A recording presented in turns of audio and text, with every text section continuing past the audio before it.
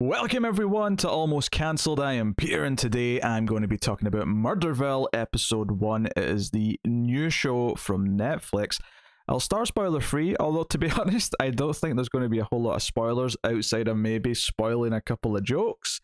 This is a new comedy show. It stars Will Arnett, and he plays a detective in a you know comedy cop show. But the the gimmick of the show is is that each episode has a guest star who is his partner and the guest star plays themselves. So in this first episode, it's Conan O'Brien playing Conan O'Brien, uh, sort of being a, a trainee homicide detective partner for a day. Uh, and then there's some others. I know uh, Kumail Nanjiani is going to be in an episode. Uh, I think Ken Jeong's in an episode later. Uh, it's only a six episode show, and it's based on a British show uh, with a different title, but uh, that's the basic gist of it. So it's super, you know, heightened. The, the, the logic of the, the, the crime is really silly. I mean, I have to admit the fact that this first episode has them investigating a a murder that takes place during a magic show, meaning that they're questioning magicians and talking a lot about magicians, was slightly amusing because obviously Will Arnett played Gob on Arrested Development, whose whole thing is that he was a magician and he hated that no one took his magicianing seriously. Uh, so that was vaguely amusing. But to be honest, I have to say that I did not particularly enjoy this first episode. There was a couple of jokes that I thought were funny, but that that's it. a couple out of uh, you know for a show that was just constantly trying to be funny. I found a lot of it kind of just off and uh, maybe a little try hard at times. And I think what's frustrating about it is that a lot of the the humor it's going for, I think in theory I would like. Like I, I think I, in theory I would like uh, some of the throwaway gags that it's trying to sort of put in, but it kind of it goes a little bit too over the top with them in places, maybe just a little too cartoony. Where it just it takes it beyond my taste and humor. Admittedly, this might be fairly subjective though. Comedy tends to be, but I found a lot of the the jokes just a little silly. Um, I found myself rolling my eyes more than anything else. Um, there there is one or two that did kind of win me over a little bit by the end, but for the most part, Will Arnett's character, who's like he's going for this gruff cop who is not really actually good at anything. Uh, that's kind of the joke.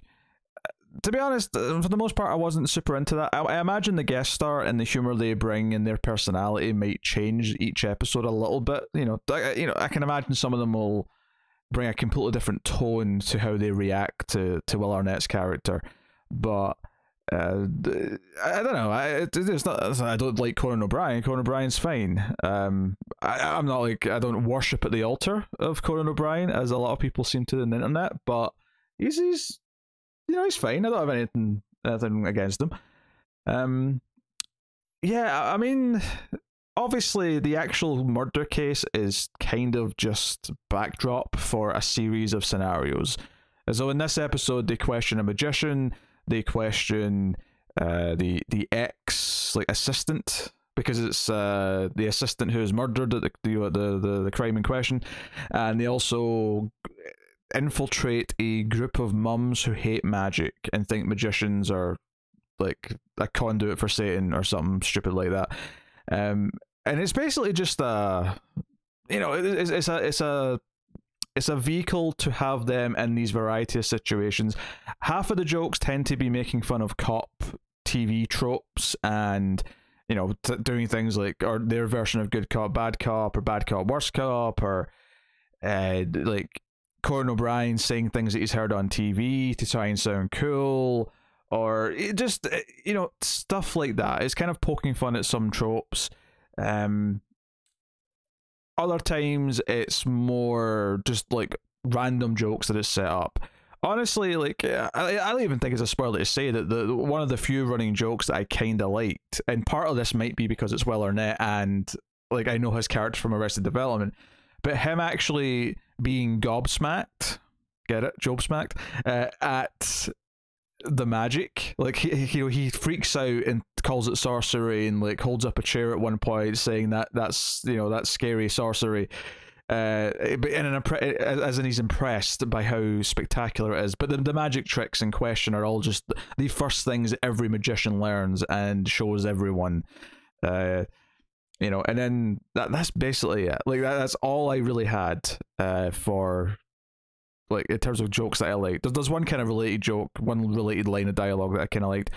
But you know, there's stuff in this that's you know, it's it's like characters eating hot chili and struggling to talk. It's um just repeating kind of things and sort of bickering. Uh, an example of a joke early on, I thought like I th- I thought could be funny, like depending if they changed it a little bit, is Will Arnett says that his previous partner that he like died in like 2006, and he points to a photo, and the photo for you know is of Jennifer Aniston, right? She's not Jennifer. I mean, she's got a different name, but that's who's playing this character on the wall. And he mentions, "Oh, nothing. We've not touched our desk since 2006 out of respect." And it's like you know this classic silly comedy thing where there's cobwebs on the desk and the hamster cage has got a skeleton in it and it's this perfectly clean white skeleton that doesn't look real. And then there's some jokes about like feeding the hamster blah, blah. and it just like the entire thing was making me roll my eyes when i thought you know what? There, there could have been a funny joke here like you know we've not even touched their desk. And you could have put you could have found something to put on our desk that would actually be funny that it was still sitting there.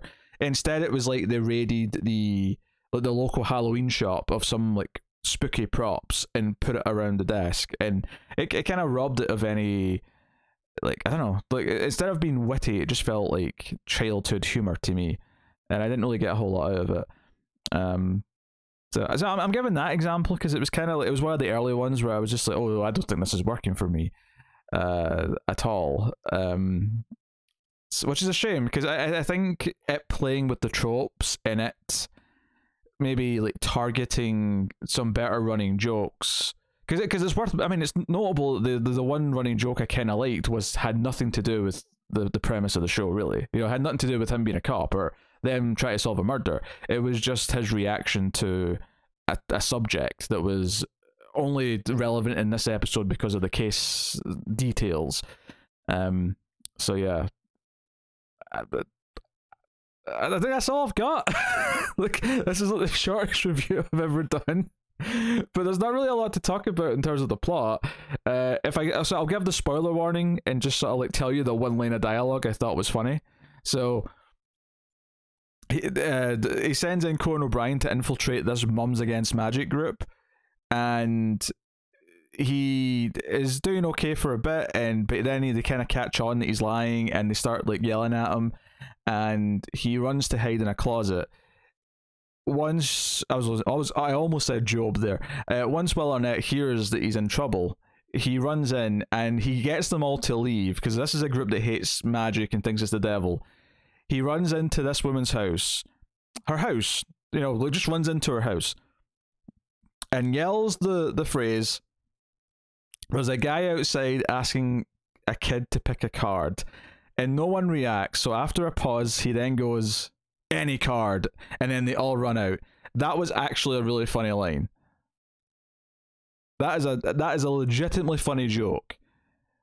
the pause and then saying, you know, because that's what they always say: pick a card, any card, right? So the pause before any card because no one reacted to the first part, but then they all stormed out in fury at any card. That was a funny joke one of the few funny jokes in this. The, the other funny stuff being Will Arnett freaking out because when interviewing the magician and he starts just doing tricks to like try and impress or like distract him, he's like freaking out and thinks it's the best thing he's ever seen. Whilst Conan O'Brien's not very impressed. That was a pretty decent little joke, right? That kind of kept going.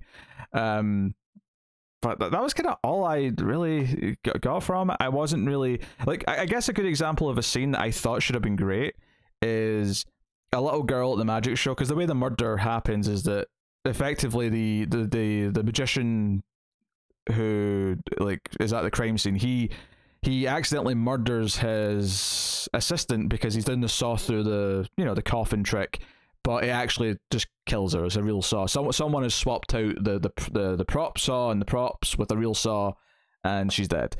There's a little girl who comes up to them and says hey when is the magician going to put her back together? And Will Arnett says, "Oh no, no, no! Uh, I'm not going to answer this. Hey, Conan will answer this." And he leaves, and Conan O'Brien spends like three minutes of screen time in a 35 minute episode talking to this girl and saying, "No, she's dead." And it becomes this debate about Like, is magic real? Is she going to heaven? If she does go to heaven, is she still in two halves?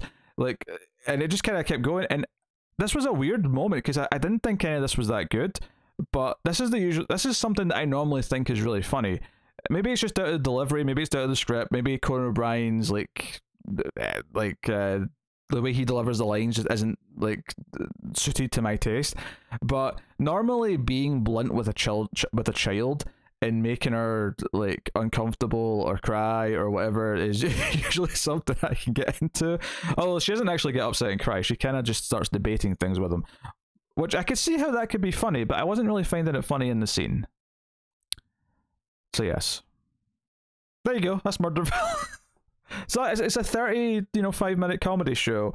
Um, outside of just re- regurgitating jokes, there's not really much I can uh I can do here. um. So there you go. I, yeah, that's that's pretty much it. I mean, what have I not mentioned? Oh yeah, the uh, the police officer in charge is uh, Will Arnett's ex-wife, and she comes in and like confirms if uh, Conan solved the case or not. And even though he used like really weird logic, he actually picked the right person.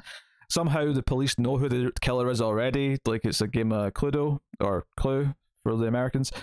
Uh, so there you go. That's Murderville. I, I, I mean, I wouldn't say don't try it because maybe the humor will work for you and it'll be a fun six episodes. It wasn't painful to get through because it was short enough. But some of the humor didn't work for me at all, and then a lot of it I thought was actually just kind of lame, and it's a shame. I wasn't. I don't know what to expect to be honest. I kind of went in with like no expectations, but this this was just the comedy was off the mark for me uh, in a big way, barring like two things. So uh, there you go. That is uh, my thoughts on Murderville episode one. Obviously, I won't be checking out the rest, but by all means, let me know what you think in the comments. Like, subscribe, ding the bell for notifications, all that stuff, and get us on Twitter at mild underscore fuzz for channel updates. If you want to support us financially, you can go over to patreon.com slash mildfuzztv and support us over there for as little as a dollar per month and keep all the content coming. But thank you very much. Uh, for joining me. And worth mentioning as well that this is reviewed because it came high on the priority uh, Patreon vote uh, list. So uh, here we go. That's Murderville. So thanks once again for watching or listening. I always appreciate it. Keep watching TV. Have you got any vanilla?